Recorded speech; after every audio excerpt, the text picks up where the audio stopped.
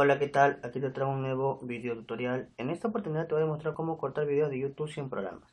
Bueno, para comenzar accedes a tu cuenta de YouTube y te ubicas en la parte superior derecha donde se muestra el logotipo de tu canal de YouTube o de tu cuenta de YouTube, clic y vas a la ruedita de configuración de YouTube.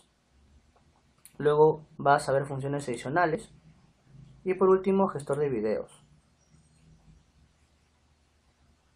Seleccionas el video que deseas cortar yo en este caso voy a seleccionar el primer video y voy a presionar clic en editar o modificar. Se va a mostrar toda la configuración del video, vas a mejoras y vas a ubicarte en la parte inferior que dice recortar.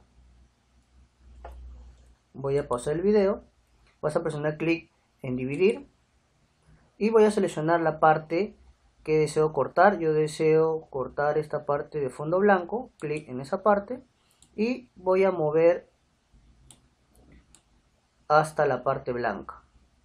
Y se va a mostrar la X que es eliminar. Clic. Y luego le doy a listo. Luego le voy a dar clic a guardar. Y me dice esto puede tardar un poco. Mientras procesamos la modificación de los usuarios podrán seguir viendo la versión actual de tu video los cambios se van a procesar en el servidor de YouTube, le doy clic a guardar. Y de esta forma me va a enviar al gestor de videos. Esperamos de 5 a 10 minutos para que se utilice tu video con la parte ya removida y de esta forma vas a poder cortar los videos de YouTube antes de publicarlos o los videos que ya subiste anteriormente.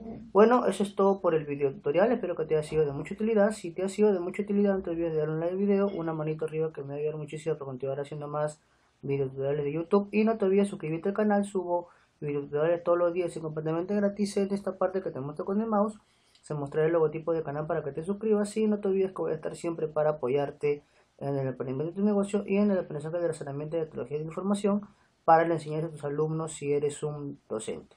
Bueno, nos vemos en el siguiente video tutorial. Un fuerte abrazo.